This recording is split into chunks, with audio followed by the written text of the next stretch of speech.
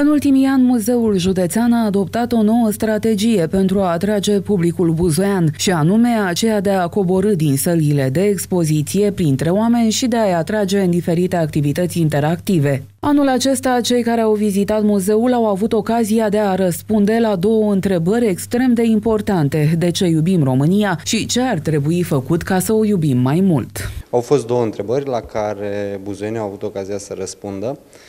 Uh, noi am lansat invitația pentru aceste două întrebări, pentru aceste două răspunsuri și am avut surpriza ca buzoienii să fie, să fie activi, buzoienii să fie alături de noi și să sărbăm practic împreună această parte din 1 decembrie 2017.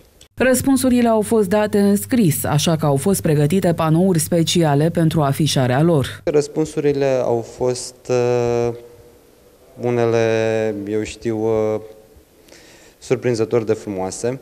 Uh, răspunsurile, în marele lor parte, provin de la copii, și ele reprezintă practic, sau am reușit să ne dăm seama cam ce și-ar dori copiii de la România, cam cum percepe ideea de țară și cum sau ce și-ar dori să, în ce fel de țară și-ar dori să trăiască.